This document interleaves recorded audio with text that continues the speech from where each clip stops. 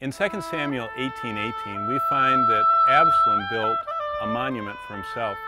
The monument behind me was Absalom's monument to himself. It says in the 18th Psalm that God made a monument to David. It said this psalm was spoken by the Lord of the words of this song the day that the Lord delivered David from the hand of all of his enemies. David's spiritual secret is that his life's monument was that he served God. In fact, David's spiritual secret is that all of us can have a life that serves God. If you look through the Psalms, which reflect all the events of David's life, you find that in every event, whether it was as a young man in Psalm 19, out on the hillsides reflecting on God, making choices for character and spiritual life, or Psalm 23, finding God in a personal way, or the 132nd, the holy habits that David had, or when he was running from Saul in Psalm 57 and hiding in caves like Psalm 142. In each of these Psalms, we find reflected David's spiritual secret. The secret was, unlike Absalom, who had to build monuments to himself, David's monument was he served God. And when God recorded David's life in the Bible, he gave more chapters devoted to the record of David's life than anyone else in the scriptures. Why?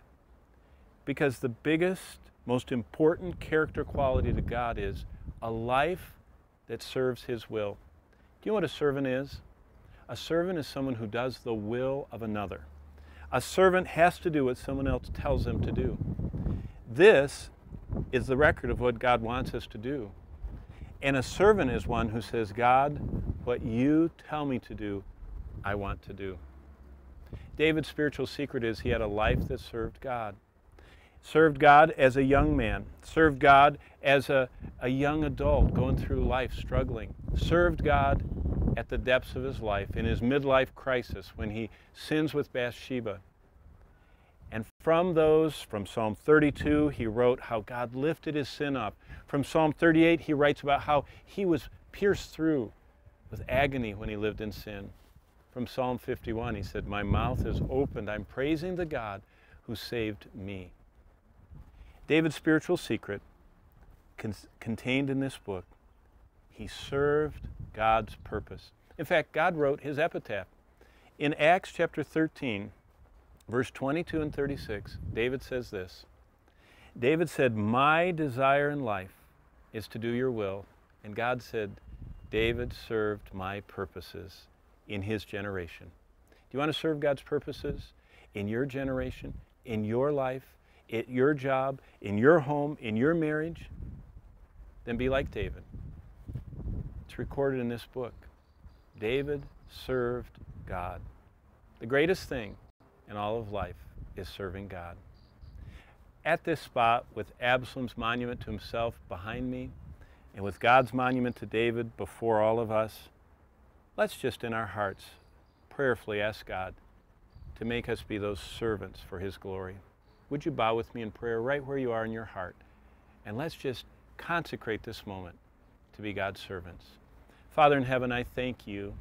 I thank you for putting 141 chapters in this book about David, and from those to distill out the secret of his life.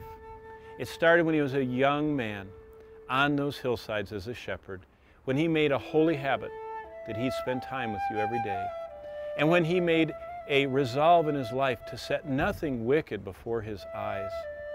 And then when he discovered truth about you that wasn't just head knowledge, it was truth that he embraced. And then, Lord, even when he fell into sin, he hated it. And he cried out to you for forgiveness. Thank you that David ended well. And as the 18th Psalm said, that you, all the way through, were his fortress, his deliverer. And David's spiritual secret is the secret of all of our lives. If we want a life that will be rewarded, we have to be your servant. If we want to be in your presence forever, we must serve you. And Lord, I pray that right now, while we're thinking about it, we would say, Lord, I want to do your will. As you, Lord Jesus, told us in the Garden of Gethsemane, our lives should be focused not toward our wills, but that yours be done. In the precious name of Jesus, we consecrate our lives today. In Jesus' name.